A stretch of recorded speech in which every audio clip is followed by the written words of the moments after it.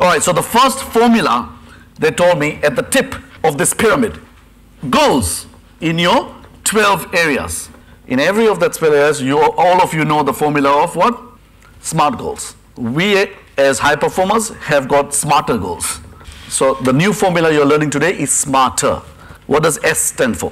Specific. So let's talk about weight loss. How would you set a specific weight goal? What does specific mean there? I will be 75 kilos in three months' time. Can you see there are kind of two ways to say it? I will lose five kilos in three months' time. Or what? So imagine someone's 80. I will lose five kilos in three months' time. Or I will be 75 kilos three months' time. Everyone's understanding the difference between those two? Yeah. But here's another way. I am 75 kilos in three months. See the difference? Rachel, you agree with that? You pronounce and proclaim what you already are. I am seeing 50 patients a month. I want to see 70 patients, um, new patients a month. Or I am seeing 70 patients a month. You understand? Specific.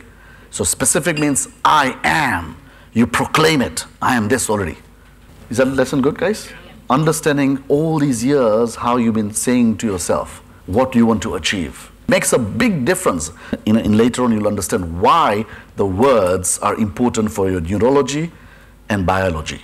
You're telling the universe you're already here.